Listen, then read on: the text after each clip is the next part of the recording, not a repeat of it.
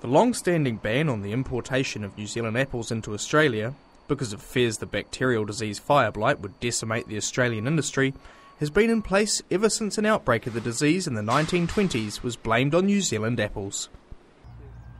New Zealand industry has always maintained that in spite of fire blight, it produces three times the amount of fruit per hectare of anyone in Australia. But 90 years of debate have failed to resolve the issues. In August 2010, the World Trade Organization ruled in favour of New Zealand. According to Trade Minister Tim Groser, it was a stunning victory. It was estimated then that the free access into the Australian market would give New Zealand growers about 5% of the market, worth about $30 million. But while New Zealand has won this battle, we haven't yet won the war.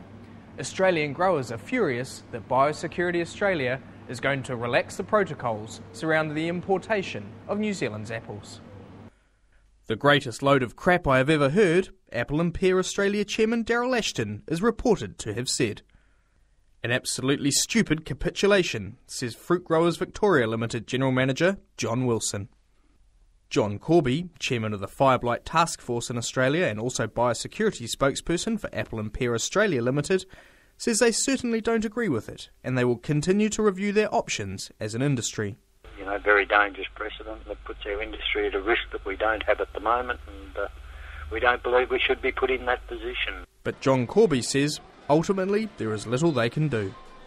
Uh, whether Australian consumers buy New Zealand apples or not, that's uh, that's the only step left, and uh, you know the mm. most likely outcome of that is that some New Zealand fruit will come into this country and therefore our risk will go up. John Corby says the respective pip fruit industries have a good relationship, with the exception of this issue. It puts strain on it. We're, we're adults.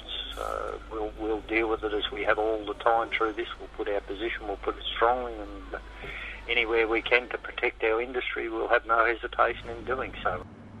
Pipfruit New Zealand's Peter Beaven says Australian growers were never going to be happy with any changes to the rules which saw New Zealand's apples allowed in. There was never going to be any pleasing the Australian industry, and they were always going to be up in arms um, with any revised import risk analysis, and that's exactly what's happened. So there are, there are absolutely no surprises about this at all. Peter Beaven says market protection has played its part.